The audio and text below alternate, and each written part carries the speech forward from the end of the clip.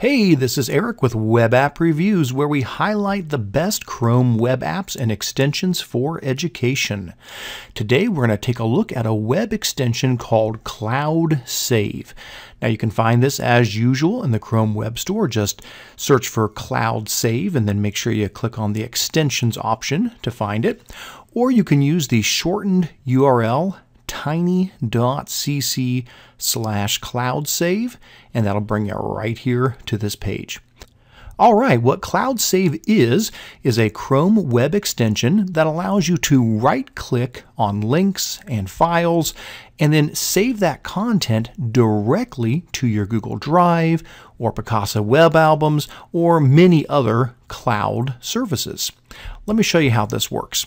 So first of all, let's get the for example here. So let's say we are over here on the Apps User Group website um, at appsusergroup.org, and we've got lots of good information here. Here's a uh, good uh, handout on Picasa Web Albums. As I come down here to the bottom, I see there's a help guide here. It's a PDF about Picasa Web Albums. If I click the link, it'll open up here in this new tab. And there it is. Very nice. Okay.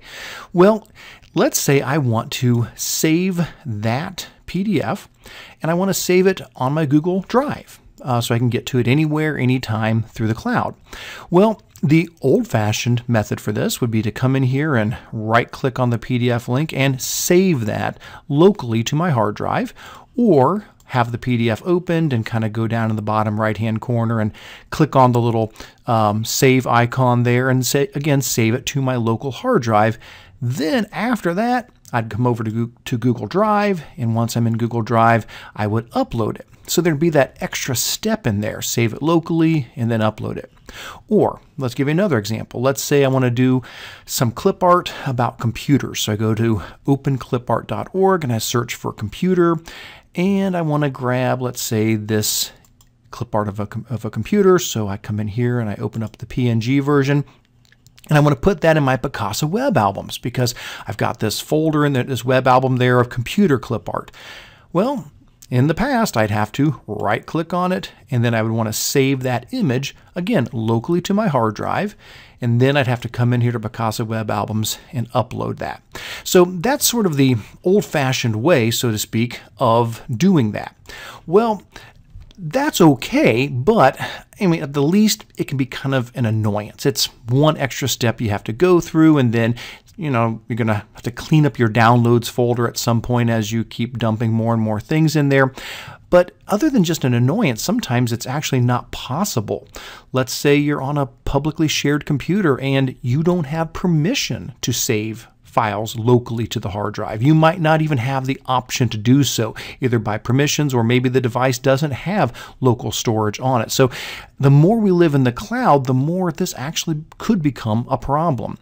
So to save the day, we have Cloud Save. Let me show you how this works.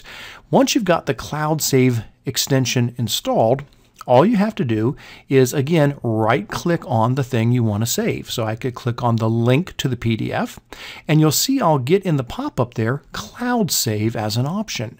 And off to the side of there, you can see I can save to Dropbox or Google Docs or to Amazon or Box.com. Well, I could save right there to my Google Docs. Or if I've already got the PDF open, I can just right click on the PDF. And again, Cloud Save pops up and I get the same options. So I'm going to say I want to save this to my Google Docs.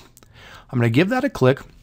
And what it will do is I get a little pop-up here at the bottom that'll say the file using Picasa Web Albums.pdf is being saved and uploaded to your Google Docs drive.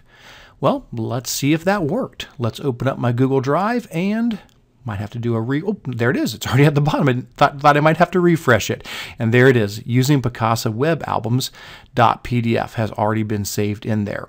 So very quick, very easy. I already have that directly to my Google Drive.